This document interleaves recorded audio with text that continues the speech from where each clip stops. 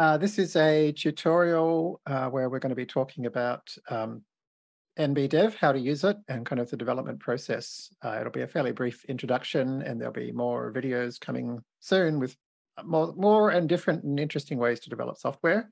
And I am here with Hamel. Do you want to say hi, Hamel? Hi, everybody. Hamel's joining us from, uh, where are you, Hamel? I'm actually at the uh, RStudio conference uh, in Washington, D.C. Uh, tomorrow we're doing the launch of NBDev because it's built on Quarto, which is uh, so uh, I'm I'm here in a hotel room. awesome. Um, thanks for joining us in the midst of your uh, conference. Um, all right, let me share my screen here. Um, great. So um, as uh, Hamel mentioned, um, we're going to be using NBDev today, which is um, which works with Quarto to take a um, a bunch of Jupyter notebooks and to turn it into a uh, a, a, complete software package. Um, so we're going to walk through how we would go about doing that from scratch. Um, it's actually much more exciting than that. But go on, get us excited. We can overdo it. Not only will we create a software package, but we'll we'll show you how you can get a documentation site, a beautiful documentation site that's searchable for free. You'll get CI for free. Um, you'll get an amazing way to do unit tests and testing all within the same context. It's something that has made me more productive, at least 10 times more productive, um, you know, while building all kinds of different software projects I think you know I've been using NBDev for about four years now, or three three years, and you know I've done a lot of different types of or made a lot of different types of software. Everything from uh, like CLI apps to to API clients to ex, you know I've worked on extensions of the Python programming language with Jeremy, um, and a bunch of other things. And it's a very it's interesting like how many different use cases that it's it's a like a really good fit for. Um, and it's uh I, I, think it's wonderful. So I'm really excited to show it to everybody. What about you, Jeremy? Like how do you, yeah, do you I feel? Mean, it's, I um I think the big thing for me is I don't really enjoy writing software very much when I'm not using NBDev now because I don't um, get as much get into that flow state, which is such a pleasure, you know.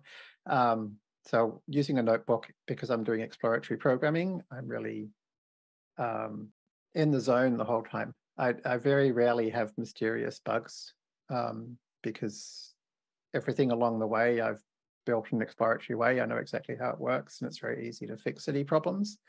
Um, so I'm kind of in this continuous zone of, of productivity, which feels enjoyable, you know and I've had various ways of trying to achieve something like that before NBDev existed, but I never had the same experience that that this gives me.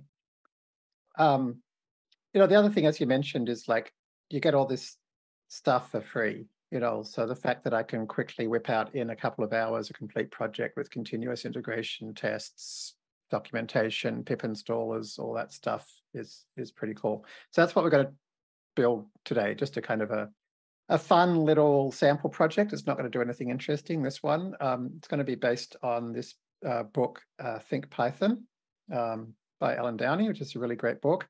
And we're going to build a, a, a deck of cards. Um, so they're basically going to be inspired by the deck of cards idea that comes from his book um, to do a bit of uh, OO programming in Python. And we're going to end up with a, a documentation site, a Conda package, a PyPI package, tests and continuous integration before this video is finished.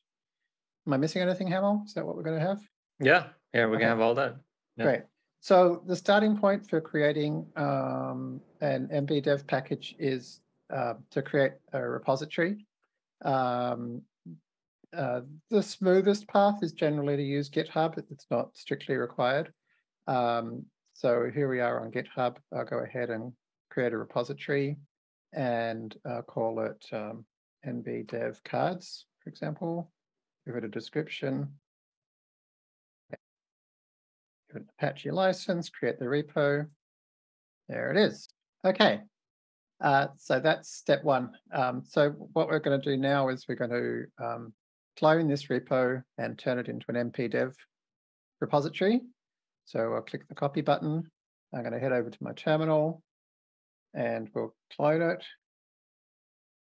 That repo, uh, nbdev cards, and this is assuming that I've already got nbdev installed. So to install nbdev, um, you can follow the directions on the home page. Um, so there's a written tutorial, um, and just above it, you'll see the pip install or conda install commands you can use. Um, nbdev is um, very, very lightweight. Uh, it has very few dependencies. Um, dependencies are basically fastcore and execnb. That's about it. You don't even need Jupyter or anything to to to run it. Obviously, to author stuff, you'll need Jupyter. Um, but yeah, it's a very lightweight um, library. Um, so once you've got it installed, if you type nbdev underscore and hit tab, you'll find that there's a bunch of um, command line tools that it's installed for you. And so you can get a list of them here on the nbdev main docs page. Um, and the one we're going to use is nbdev new. Um, and you can also see a list of them anytime if you do nbdev help in the terminal as well. With the, you know, you get a short description of all of them. Great. And, you know, this is actually a good example, Hamel, of how um, we don't have to do anything to keep our documentation up to date because the doc, our documentation being an NB, NBDev is written in NBDev. And so the documentation actually uses exclamation mark. That means run a shell command in Jupyter, followed by that shell command. And the output here.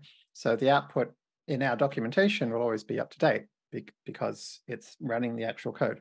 Um, so that's one. this is this is huge because like the way that most people create documentation is they copy and paste code into Markdown and they yeah. copy and paste the code output into Markdown and it becomes stale. Oh yeah. It becomes a big headache and that's why nobody writes documentation. Nah, but couldn't be bothered. This is I'm why lazy. I take care. NBDev is for lazy people like me. I'm very lazy and I don't not prepared to do things twice. Um, okay, so NBDev new. Um, so you can pass minus H to any NBDev command to find out um, how to use it. Um, in this case, it's very, very simple. Um, you just, this got no com um, command line arguments, so you can just go ahead and just run nbdev new. So as you can see here, um, when I run nbdev new, it figures out all the details of my repo. Um, and it creates a file called settings.ini. And settings.ini is your, your home for all the stuff that you need for your app or your library. And um, the um, the neat thing about this for a lazy person like me is that you only have to put this stuff in one place at one time, like the version number and your details and so forth. Um, uh, yeah, it means that you don't have to worry about putting these things in multiple places for your documentation, for your PyPI install or whatever. It's all going to come from one place and you don't have to worry about it. Um, yeah, it's great. Mm. Otherwise, you know, like package management has so much boilerplate. It's overwhelming. And this makes it to where you can actually do it like a in like and stay sane.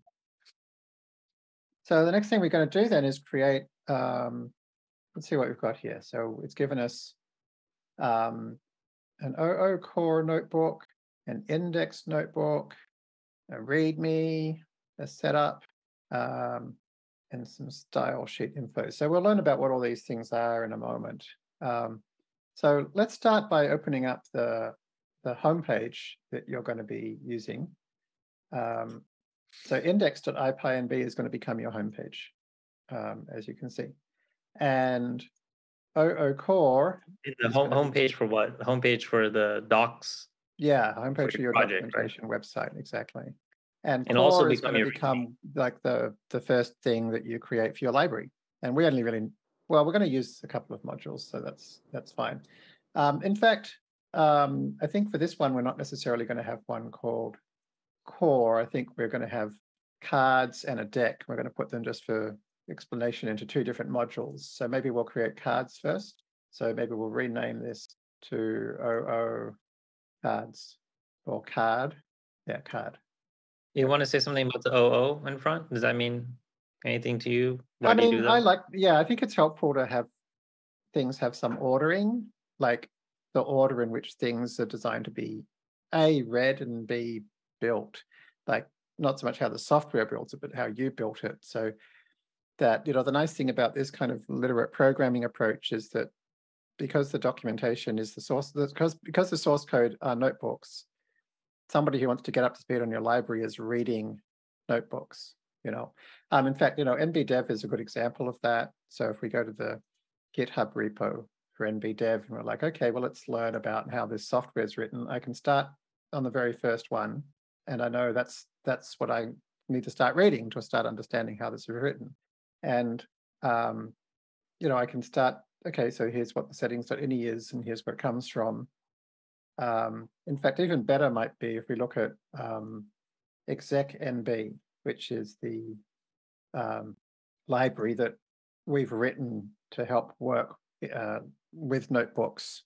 Because you can really see if we start at the very start here, like literally, you know, it, it's prose. Because like this was my exploration when I started writing this is like what's a notebook? So I started opening them and reading them and printing out what's in them. So therefore when you know when you the reader start reading my code you're following me on my journey of understanding yeah what what's what's going on at every step and then you can see when I've written a function you can understand why I've written that function because I've just explored up to a point where we can see that's the function I now need um, so for example nb to dict is basically doing things that I've just done step by step in prose. So yeah, that's the main thing. You know, the ordering of the file names is also used by default to order the table of contents in your documentation. So another good reason to have it make some sense. So that's the only reason I'm using those numbers there. Um, so yeah, we're also going to have a, a deck of cards. So we'll call this one O1 deck. So that's going to be our home page. That's going to be our module for cards. This will be our module for decks. Um, in real life, I would probably be putting these in the same module because they're not going to be very big, but this is just good for demo, I think. Um, so each notebook is going to produce one .py file, one module. Uh, so what do you want that module to be called? This is going to go up here. So there's you'll see there's some special comments um, here in the notebook, they always start with hash pipe. And if you've ever used Quarto before, this will look very familiar because in Quarto, it's exactly the same. Um, you can see special comments with hash pipe here as well. Um, so these comments that are used in Quarto and NBDev are used to tell Quarto or NBDev something about this code. Um, so for example, um, we'll be learning about showdoc in a moment, and we have to import showdoc. Um, but the fact that we're doing that is something that the reader of your documentation doesn't care about. So we hide this uh, from the documentation that's built. Um, so this special one here called default exp, this is the default export. This is what we're going to export um, symbols here into, what module. We're going to import it into a module called card.py. Um, this is markdown in our notebook. And so this is where we can start typing things that we want to appear both for the reader of our source code and also it's going to end up in our documentation. Um, so we could write, for example, card, a basic playing card, um, a simple API for creating and using playing cards. So this is the description. Um, it might be so, worth to point out that um, this having this uh, header one in this note block is a kind of an NBDev shortcut. And, uh, and what happens is this becomes the title of your page, and that that quote block becomes the description of your page when it renders. Yeah, maybe a good way to um, understand how this works is to look at a library. So let's take execnb again. Um, and open up one of its notebooks. So let's take O1 NBIO. And at the same time, also open up its rendered documentation. And so you'll see here we've got NBIO and shell. And here in the documentation, here they are NBIO and shell. And if we look at the notebook, you can see here is the header one. So that's become the title and the contents.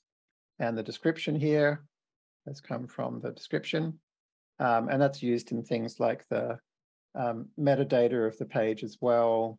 Um, you can see the title, for example, gets built from that automatically.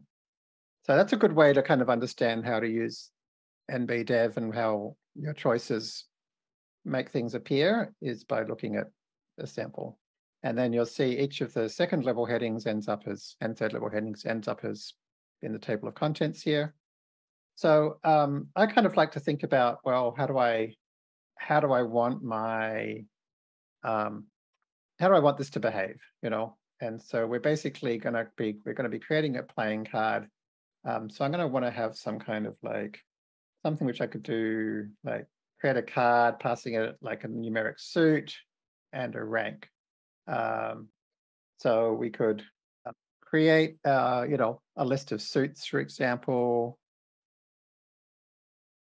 Uh, let's pop that up here, maybe.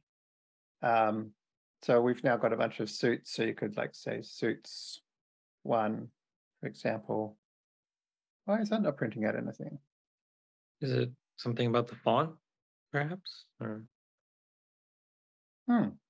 Yeah, something about Python's Unicode handling, maybe? That would be my, my guess. computer, it actually visually looks different than this. I don't get Huh? the colored. Like I don't. Uh, oh, okay. Like yeah, it, I don't ever see these colors or anything on my computer when on the same notebook. So So this is where like NBDev is really helpful, right? Because you know, I'm not going to end up with some weird bug deep in my code because I'm exploring as I go. Um, I thought you could like split things. Okay, so I think what we'll do instead, since we discovered that doesn't work, um, which I think just shows my ignorance about how Python uses Unicode, let's put them, create a list of strings instead. Oopsie daisy. Okay, that's more like what I was expecting. Hmm.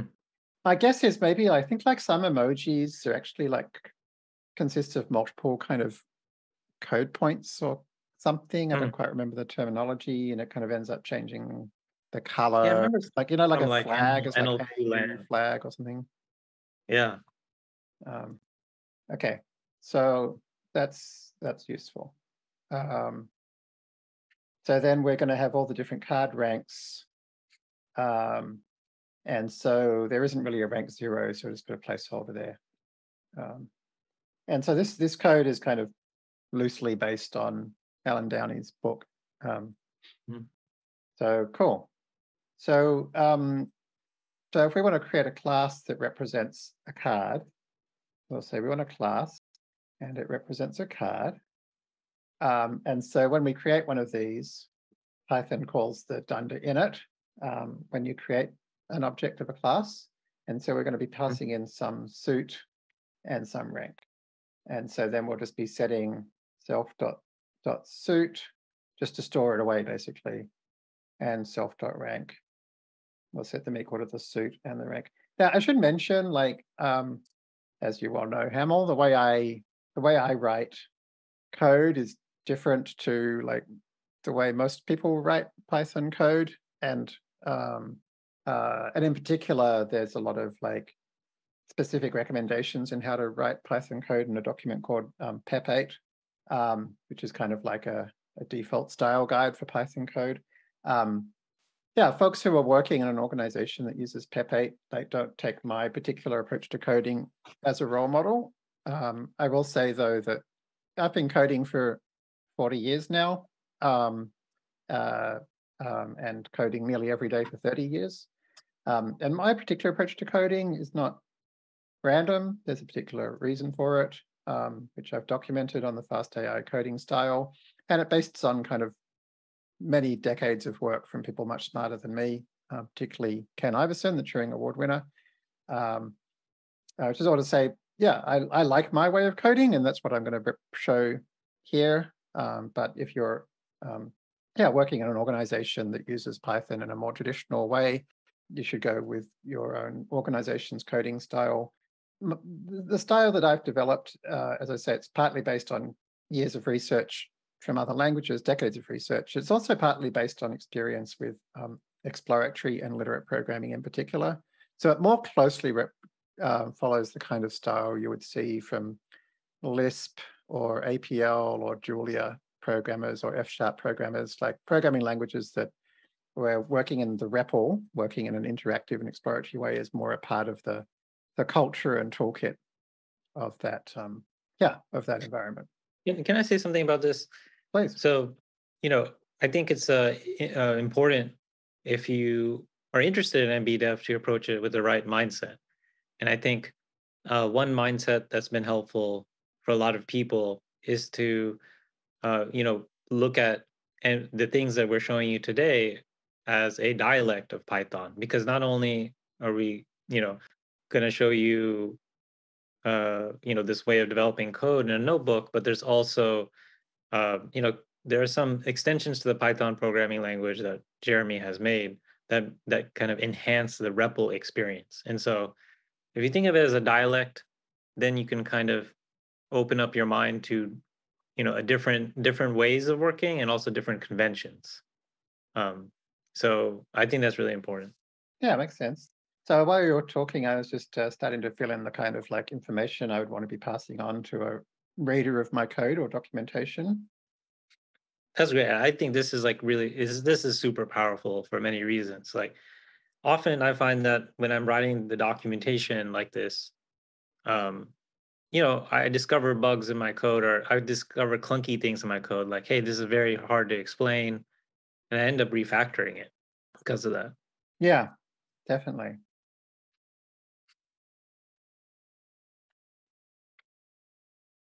So try to explain in our docs as we go why things are as they are. Okay, so there's our ace. All right, so now we can create a card. Um, so that's not very helpful. um, and so that's the that's the default representation.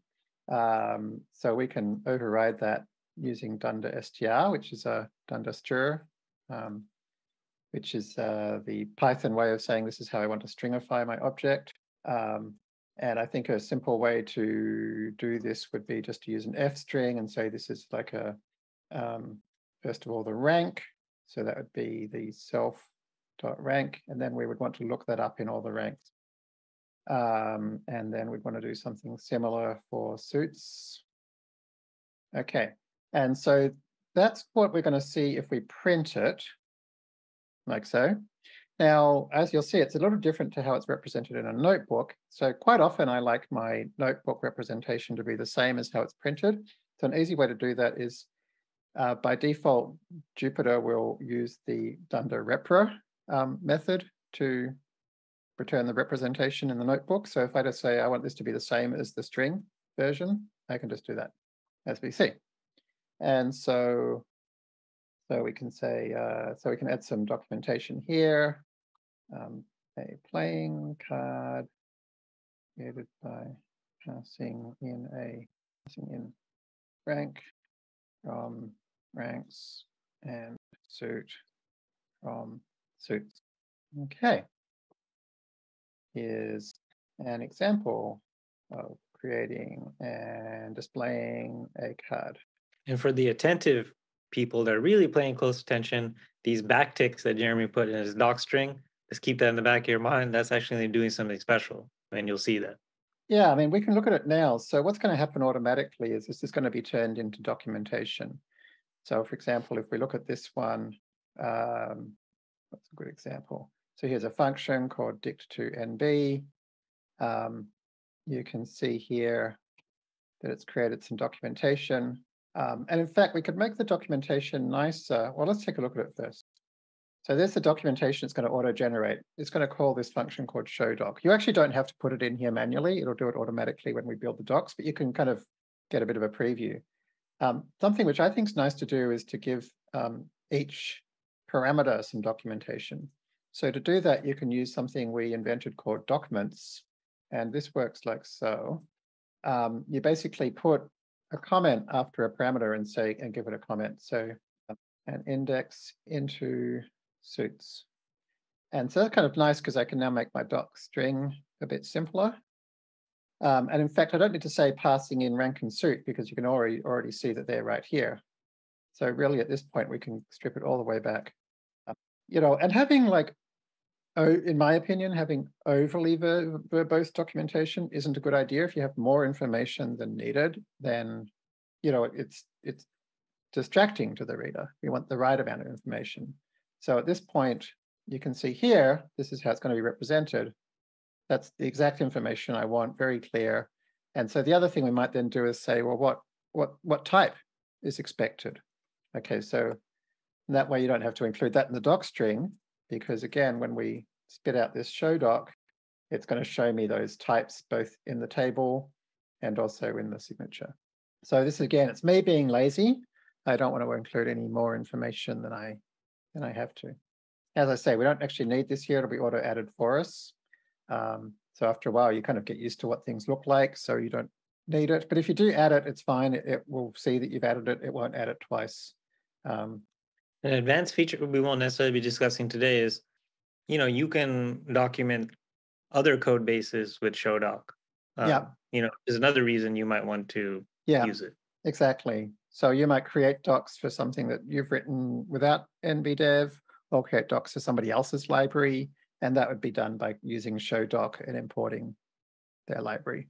So um, for example, if we wanted to, you know, document something from um, execnb, for example, I could, um, you know, import something like um, that thing we were just looking at, you know, and uh, start writing some Markdown prose and also add wherever I wanted to the actual documentation. And this bit here, this header, show doc blah, it's not going to appear. The only thing that appears in the documentation is the Markdown output. Okay. Um, so I think, you know, in general, we probably want to be able to recognize, you know, when when cards are the same or when they're less than or greater than some other card. Um, so what I kind of like to do for that is um, I quite like creating tests to check that it's working correctly. You can either create them before or after. It doesn't really matter too much with exploratory programming. Um, So I would kind of be saying things. So you can um, import some basic testing functionality from FastCore. And, you know, again, this approach of importing wildcards, it's like not the normal approach in a lot of um, Python libraries, but for exploratory programming, it works pretty well. Um, it's certainly not unheard of. Like, for example, the Python standard library itself um, has a really famous library called tkinter, and you'll see that um, all of the examples in it actually use wildcard imports. So it's actually used in the Python standard library itself. Um, but uh, it's it's only a good idea. It, like it's something you'd only want to do for libraries that are explicitly designed to work this way, um, because there's a somewhat advanced Python feature called dunder all, which ensures that things work correctly when you do this. Um, normally, that's a lot of work to create and not really worth the effort. Um, NBDev libraries do it automatically. So one nice thing about NBDev libraries is that they work very well in REPL-oriented programming because they'll support using wildcard imports. Um, but again, it's something which if you're at an organization that uses kind of PEP8 and stuff, you might want to explicitly import each thing carefully. Um, but you know, one nice thing about exploratory programming is for people that aren't very familiar with their IDE, they often like don't know where symbols come from or what they mean. So for example, there's a thing in um, fastcore.test called test for equality, test_eq. Um, in Jupyter, you don't have to worry about like, you don't have to look up the top to find it because at any point you can just stick a question mark after it and it will tell you exactly where it came from. Um, and furthermore, you can actually just put a second question mark and that'll give you the source code for it. Um, or you can write it without any question marks and it'll just tell you the, the details of the source and the parameters. Uh, or you can just hit um, open parenthesis and then shift tab and you'll get all the information here. So there's lots of ways, you know, in a REPL-based environment of getting all this information without scrolling around and wasting time. Um, so we're going to test that, for example, a card like that should be equal to a card like that. Um, where else a card with a different suit should not be equal. And a card with a different rank should not be equal. Okay, so if we run that, it doesn't work um, because we haven't defined equality yet. So the way you define equality in um, Python is by defining a dunder equality. And we could just check that the two tuples are the same. So if we check that uh, self dot suit comma self dot rank equals, oh, we don't need B. It's going to be past the self, yourself, and then one other thing. Uh, and check that against um, a dot suit, comma, a dot rank. There we go. So they all pass. Um, now, um, we're not showing uh, like totally perfect software engineering principles here. We should be checking that the types are the same and stuff like that. But we could at least give some indication um, that the types are meant to be a card. Um, this is a slightly weird Python thing that Python doesn't know what a card is until when you're inside a card. So nowadays you have to put it in quotes. Um, uh, you know, like I tend to like having my functionality all in one place though. So what I would tend to do at this point is I would often split this out. So in Jupyter, you can hit Control Shift hyphen to split a cell out. And, you know, I'd quite like to kind of have all this stuff defined down here in one place. So I'd have like equals, not equal, you know, and so forth. Um, so to define a um, a method outside of its class, which is kind of something that's pretty common in things like C++, for example. Um, you can also do it in Python using something from another thing from FastCore. So the main things in FastCore live inside it, uh, uh, utils. And one of the things that'll give us is something called patch. So we can add a quality to FastCore just by saying patch. And we're just going to say, what do you want to patch? I want to patch card.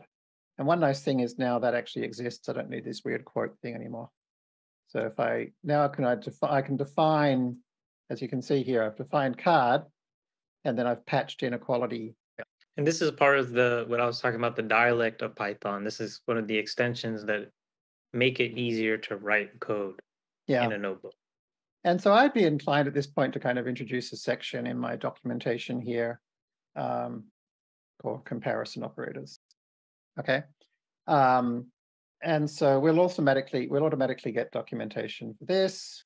Um, so then we could do less than or equal to, or less than, I guess. So, um, so we would expect um, one three to be less than two three. Uh, so this will need to we just use assert. There we go. Um, and similar thing, greater than. So LT and GT is what Python uses for less than and greater than. So this should not be the case for greater than. And then for less than, for greater than, we would expect that to be true. Okay, so that's all passing. Um, all right, I think that's basically our playing card.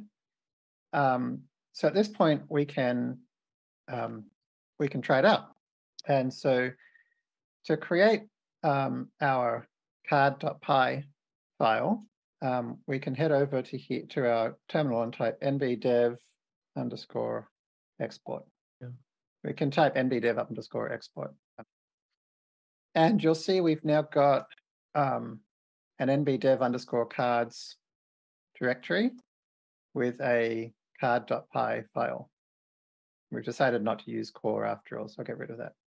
Um, so like one thing we could do at this point is to see whether that seems to be working okay by importing it. And this you're in the index uh, notebook, so that's the home page. That's going to be our home page, exactly. Um, so we can say like this web provides a card class you can use to create display, and compare playing cards. Card one comma three. Suits are numbered according to this list. So you can see all that stuff has been imported into our environment uh, from nbdevs.card. So that's pretty handy. So we'll call this nbdev underscore cards. And we're not automating this bit, unfortunately. We probably should be. We'll have to copy the description over. So we might put a link here to where the inspiration for this comes from. A playing card, uh, a deck of cards, demo of NBDev. based on ideas from um, Think Python 2, Think Python second edition by Allen Downey. All right. Install using or So the hyphen or underscore? yeah, so this is a this is our first um, little tricky issue, which is that um, hyphen and underscore are a special character in Python. Python modules can't have a hyphen, hyphen, and PyPI I don't think can have an underscore, or at least you don't normally see them. So we actually are going to have a different name. Um, so ideally, I wouldn't have picked a name with an underscore because that's the only, basically the only character that has this weirdness. Um, but that's okay. Um, so to fix this, we have to change it in settings.ini um, to say that we've actually got two different things. Um, so the lib name is actually, I guess, nbdev hyphen cards. And then the lib path is actually nbdev underscore cards. That's a little bit confusing. Um, this uh, percent %s business is um, part of the thing from the standard, the Python standard library called config parser. Um, it just copies the variables from user and libname up here. And you can override them if you like. Um, all right. Um, should we maybe have a look at the documentation now? Mm -hmm. Okay. So to preview your documentation, um, you can type nbdev underscore preview, and uh, that will fire up a um, uh, that will fire up a Quarto web server for you. Um, and as you can see, it will automatically install Quarto um, if you don't already have it. Um, if you're on Linux, it'll do it automatically. I'm on Mac though, so it's going to pop up this window. Um, Quarto is updated reasonably regularly, so it's not a bad idea to make sure you've got the latest version anyway. All right, so let's run that again now that it's installed. So that's going to build each of my pages. And then what's going to happen is it's going to sit running in the background. And, uh, and so it's just going to sit there running a little server on port 3000. So if we now go, go to um, click on there, um, it's popped it open here. Um, and so yeah, let's take a look. So NB dev cards, actually, let me pop this on the other screen so we can compare them more easily. So you can see how the heading, the summary, there it all is. Um, if you look at the card page, that that's uh, interesting since. Yeah, so let's head over here and compare it to our card page. All right. Um, okay, so you can see all this stuff's been hidden. There's this info that we've got. And as you can see, we've got the auto-generated docs here. Okay, now this is a mistake. This shouldn't be appearing. And the reason why is that it's not being exported because I didn't export it. So I'll copy this export here and I'll paste it here. There we go. And then um, I've saved. I just hit save and you can see that it's um, automatically done this here.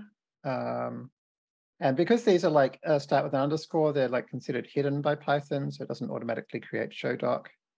Um, we kind of don't do that because I, you know, we think a lot of people would not like it's it's not that we're creating really something for users called dunder equals. So like you could say show doc if you felt that your users were quite advanced and would know what that meant. Um, you know, you do it something like this, um, and it would pop up like so. Um, you know, personally, I try not to expect my users to understand stuff like that. So I would rather just kind of put in some markdown, I think. Um, and in fact, we could make all this a little bit shorter by then putting all this stuff together. Merge, so Shift M merges, a bit more concise. Test of less than. And this is this is really cool. I mean, I find this part to be really nice. Like you can choose which tests you want to show to your users and which ones you don't. Yeah. Because um, sometimes it makes sense to do it and sometimes it doesn't make sense to show. Yeah. In fact, you know, let's just for example, let's say that, you know, we just want to show them one test of each. which is fine. Like you don't necessarily want to overwhelm them with examples. So in that case, I would write hide here. And these are just for actual tests rather than uh, rather than showing examples. Yeah, so it's probably not a bad way, just one example of most of them. Okay.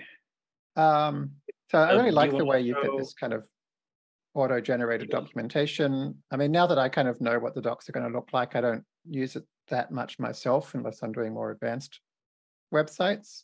Um, an example of a more advanced website would be the NBDev homepage. Um, the NBDev homepage is actually generated from a notebook. And so that one, it was certainly helpful to have the auto-generated preview. Shall we do? Do you want to? Do you want to show? Do you want to talk about since we uh, Mhm. spent some time on tests? Do you Mhm. want to kind of? How do we Yeah, do, know? do you if- want to do CI now, or should we do the deck? Should we do the deck first, and then we'll do CI? Yeah, we could, but you could show local tests. I think the local. Oh yeah, local tests. Of course, I forgot about those. All right, so uh, for local tests, so I'm just going to run this in the background. We'll leave that running. So if you just type nb dev underscore test, and that's going to basically make sure all of your tests pass. Um, and you know, we don't like to give you more information than needed, so it just tells you if they do. Let's break one. Save that. And so you can see now it tells you that in zero zero card, cell 20, um, my colors could be better, but I'll fix that in iTerm sometime. It shows you exactly where the problem occurs and it expected three of hearts and it got a three of diamonds. And you can see it even uses the correct representation thanks to fast core test. Um, and at the end, it'll summarize a list of any notebooks that failed. So we'll go and fix that, save it, rerun our test. There we go. Um, and for these situations, to see what you can pass in. It'll run the tests in parallel using as many workers as you have CPUs by default. Uh, You can see how long they take to run. You can look at just particular files, so forth. There's lots of options you can give it. I was going to say, uh, when you're using NBDev and you're debugging in real life, um, I think it's worth it to mention the hotkey for reload and run all. Mm, Um, yeah, definitely. yeah, that's that's really useful. Yeah, exactly. So you want, because when you run NB dev test, it's going to run your notebook from top to bottom. So to rerun your notebook from top to bottom, if you just hit zero, zero, that restarts the kernel. Um, and then there isn't a hotkey built in for running all cells, but it's a good idea to add one by hitting help edit keyboard shortcuts. Let's run them all and we're all good to go. A lot of, I mean, a lot of people well, including me, like to explore very interactively in notebooks and often go back up and rerun a cell and change things and see what happens. Um, but um, yeah, it's a very good idea from time to time to to hit zero zero and then rerun all the cells, or at least to head over to your terminal and run nbdev uh, test.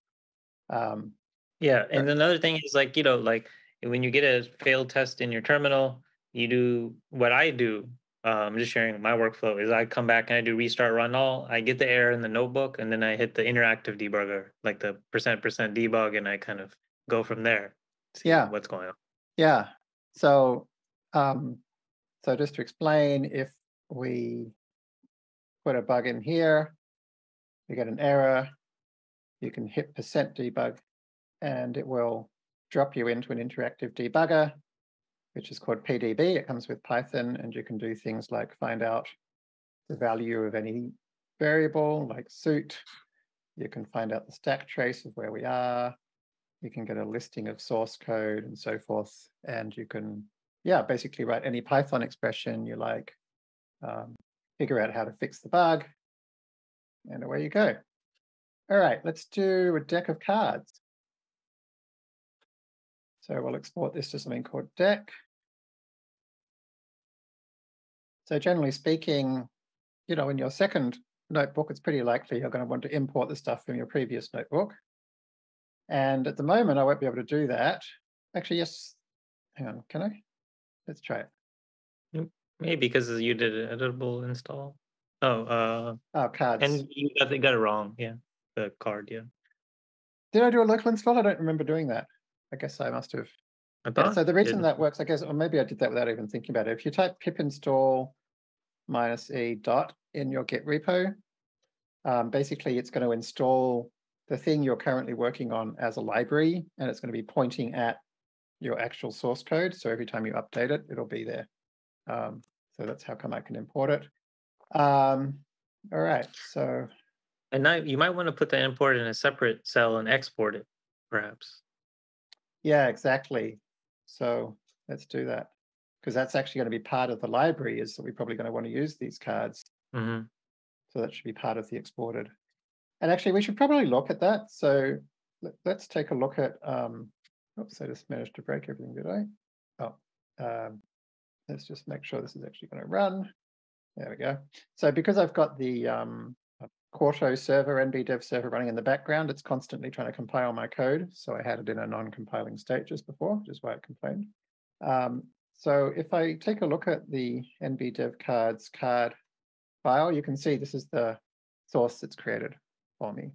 Um, and so, for example, if we now like, um, let's see, um, so a full deck of cards is going to contain um, every for, for every suit and for each suit for every card, it's going to contain a card. Um, so that's not very helpful.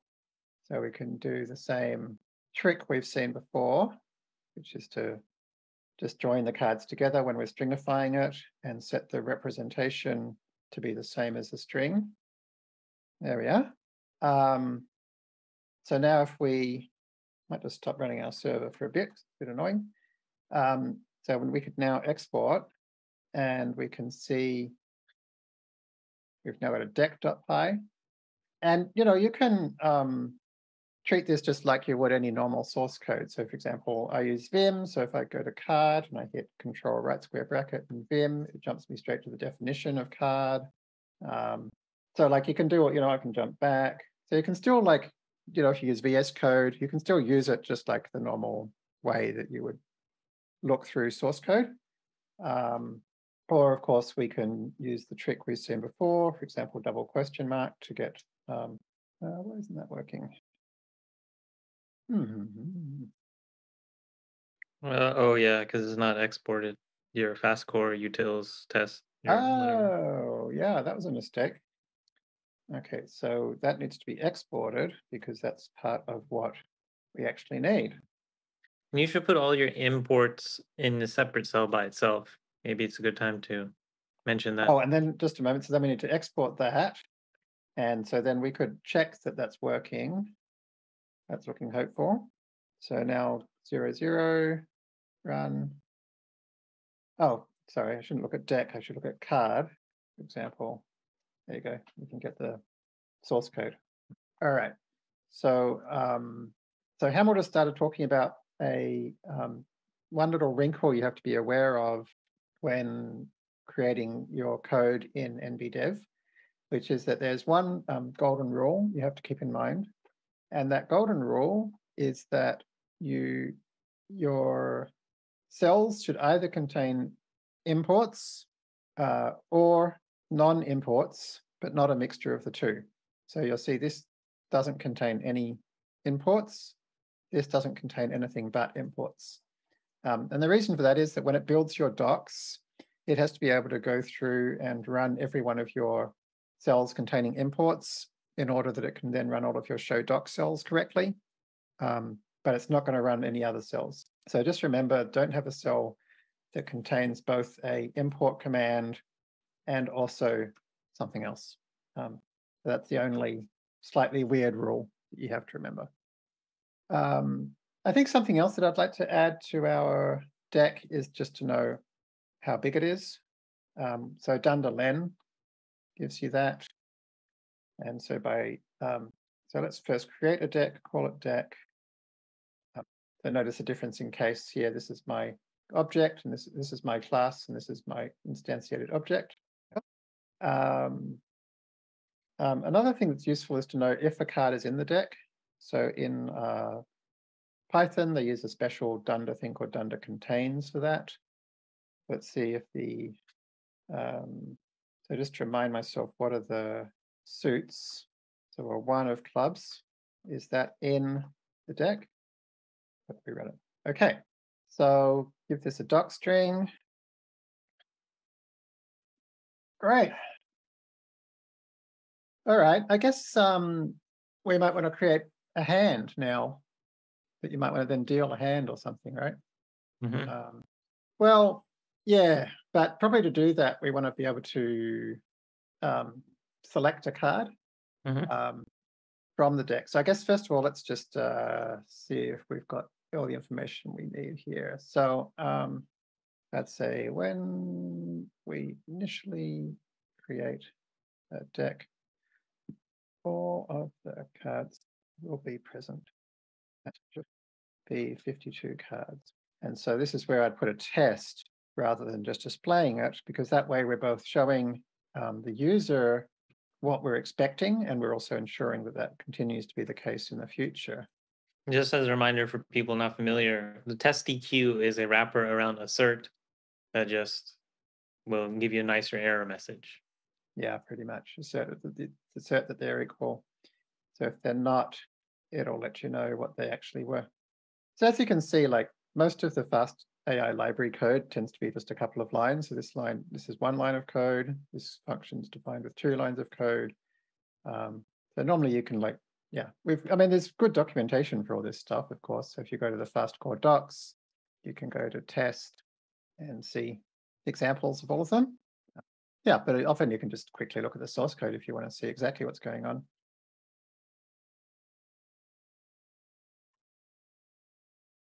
Uh, the ace di- uh, clubs.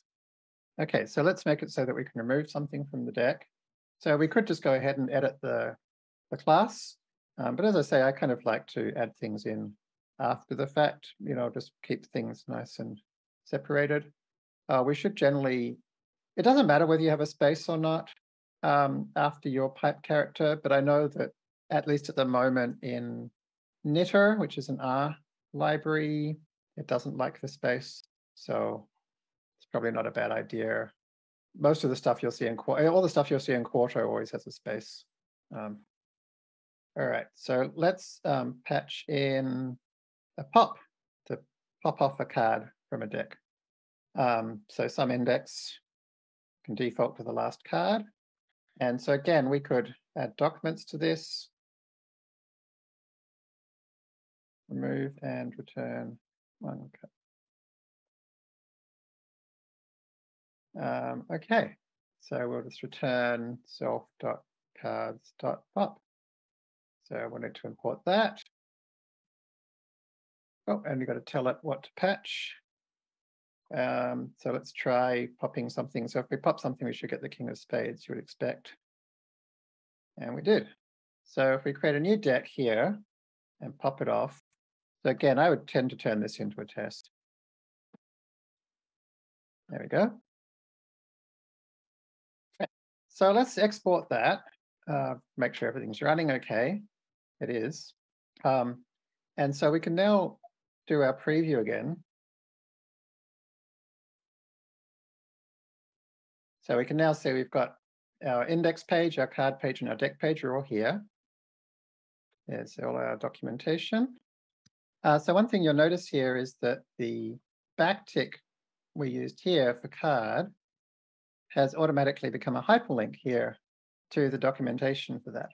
Um, I won't be able to click on it right now because it's um, going because we haven't uh, put it on GitHub yet. Um, but this will end, this will link to. In fact, I just copy the link. You'll get the idea. Copy link address, paste it. So that's where our documentation for that's going to end up being. So you can just use uh, backticks and it will automatically linkify, as we call it, um, that to the documentation. So that's pretty handy. And it works across all your nbdev projects. Um, Yeah. Because Exactly. we have, yeah. and not just NBDev projects. In fact, there's um, there's a a number of other things, including the Python standard library and pandas and NumPy and so forth, that you can install um, indexes for those so that they'll automatically linkify as well. Um, cool. So then you know we can show that this seems to be working correctly. Um, let's go to rerun this. Okay. So um, so I just reran that from the top to make it all work again. Um, all right, so that should be um, in our deck now, you can see that that's auto-generated that documentation. And we can also like check that pup's behaving the way we'd expect it to be. Um, by getting a remove in there as well. So I'm just going to copy and paste this one from one I built before to save a bit of time for us. And so again, we can check to see how the preview is looking. Um, and so when we see this is not appearing here, we know what we forgot to export it. There we go. Now it's appeared. Um, so it's not just for methods, we could also create a function. So I've got a function that I've created earlier, just for example. So here's one that draws some cards with all our replacement. So let's draw 13 cards without replacement. Oh, need a shuffle. About to add a shuffle. Maybe just put that straight into the class just to show how that would look. So there's a shuffle. So since the shuffle here is directly in the class, we need to say whereabouts we want to document it. So the way we would do that would be to put a show doc. There we go. Um, so we're going to need to import random here. Oh, we need to put it top. Oh, one thing I should mention, it's okay to put an import statement in an exported cell because they're going to be run either way. So that's the one difference is you can put an import inside a cell that's exported. There we go. Let's take a look at how our documentation is looking. Nice. All right, Hamel, where should we head now? Um, oh, um, did we want to create the command line interface? Yeah, Sure. Or you want to do a visualization to make sure your draws are doing or okay? Maybe? Um, I mean, that's already in the tutorial. It's not really anything extra. Okay, no problem. Um, yeah. I mean, the CLI is in the actually the CLI is in the written tutorial as well. It's also really not anything extra. So because this is already pretty long, um, and it's not really NBDev specific. So yeah, check out the um, the the written version of the tutorial of this online for a couple more um, handy little tricks. Um, okay, so to get it ready to send off to GitHub, to send it up to GitHub, one thing that I like to do is to make sure that there's like no unnecessary metadata in the notebooks. And so um, you can manually check do that by using nbdev clean. Um, there's also some Git hooks you can install to do this automatically. You can look up in the docs if you're interested. Um, and so if you um, have a look now, we can see what's what we've got ready to go to GitHub. Um, so we can add all that. Um, yeah, not a bad idea just to make sure you've exported everything, um, make sure that the tests are working. So they're basically the three things. Uh, check the files. So there's going to be um, continuous integration added, doc documentation deployment added, uh, the notebooks we created, um, some information about the website, our homepage, um, the two modules we created, our settings file, setup file, sidebar, and a style sheet. That all sounds good to me. Too tired today. Okay, so that gets sent off to GitHub, where we should find it. There it is. And so GitHub has something called GitHub Actions that automatically runs things that are in this GitHub.github workflows folder. Um, so one thing you'll find here is that uh, when you push or when somebody puts in a pull request, um, it's going to run nbdev test, amongst other things. And it will also uh, run something called Quarto GHP, which will set up your um, GitHub pages. So while we wait for that, I'm going to go into pages and tell it that GH pages is the branch. So that's basically what it uses for GitHub pages. Um, okay, and so if we look at actions, we can see, there we are, it's, it's all run. So the CI stands for continuous integrations. That means our tests are passed. And the deployment was completed. So you can actually click on these things to see them or the steps that they run. And you'll see that it installs all the Python stuff, and you can see it basically looks the same as our Quarto did when we ran stuff locally. And then finally, automatically, GitHub creates our web page for us. And so you can see it's busily building it there. Looks like it's finished building it. Okay, it's finished. And you can see it tells us here where it's been built to. So what I like to do is I tend to copy that and then I go into my settings and paste it here. And there's our website. Awesome. Our links are working. Okay, so that's looking good. Um, shall we put this on PyPI, Hamel? Yeah. You know, and that's CI, I mean, I just want to point out like most projects at this point, you would only just have code. Yeah. So at, at this point, we have CI, we have a documentation site. And this is the point where, you know, when I'm personally coding and I'm kind of done at this point, and it's exciting because I just like my colleague, you know, I just say, hey, like I created that tool you wanted, and then here's the website. And they're like, you have a website? I'm like, yeah, check it out. You can install it from like, pip. yeah. Yeah. And then they're like, wow, it's and then also you can just pip install it and also you have CI. Like, how did you do all this such a short amount of time? Yeah. So, it's awesome. Um our README is not working. Oh, you know, the other thing we should have done is uh, run um, nbdev docs. And um, the reason for that is that, um, so that's kind of does a trial run of the same thing that um, that it's going to have, that GitHub Actions is going to do. Um, but what it also does is it updates our README to contain the same contents as the homepage does.